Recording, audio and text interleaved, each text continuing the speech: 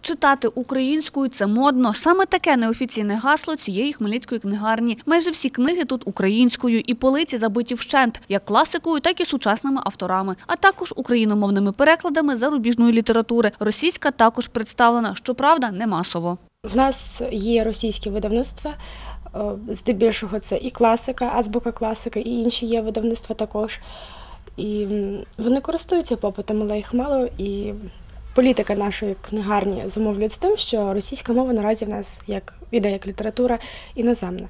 Як і у книгарні, так і у бібліотеці зазначають, нині у нас з'явилися видання, переклади яких не поступаються російським видавничим гігантам, особливо що стосується дитячої літератури. Здебільшого зараз є тенденція, яка показує нам, що літературу перекладають чудовою українською мовою, вишуканою, прекрасною. І ну, видавництва тільки заради цього власне і працюють. І, ну, якось так. Але російською мовою ну, також є переклади хороші, але українською, звичайно, краще.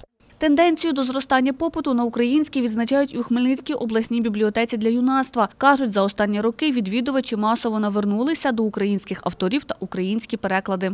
У нас так, звичайно, є російська література, але зараз більшим попитом користується українська література, українська сучасна література. Зараз приходять і більше запитів нас запитують українську літературу. Це цікаво, це сучасно, це модно зараз читати українське. Десь мені здається, відсотки 70 це українська, а 30 це на російській мові. У рази зменшилась і російська періодика, яка надходить вкрай через мережу Укрпошта. Поштівники кажуть, досі передплачували лише вузькопрофільну пресу, як от медичну. А вже на друге півріччя російське друковане слово зовсім зникне із переліку передплати. Прийшов новий каталог видань зарубіжних країн на друге півріччя 2017 року, і вже у нас зовсім відсутні російські видання будь-які.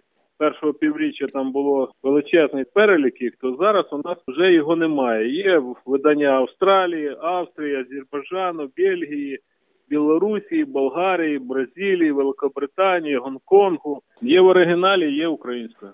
Дарина Денисенко, Сергій Захаров для інформаційного випуску.